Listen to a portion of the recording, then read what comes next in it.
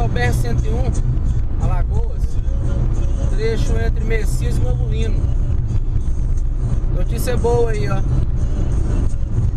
Tamparam os buracos nesse trecho. Tá uma beleza agora, viu? Tudo tapadinho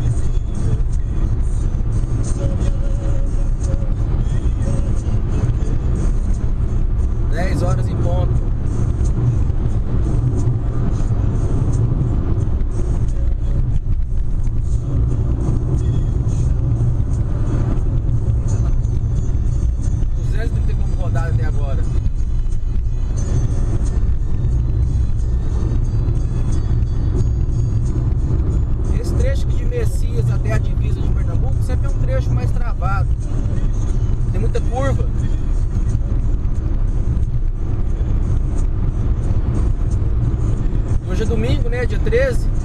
Ontem foi feriado. O trânsito tá, tá pouco na BR.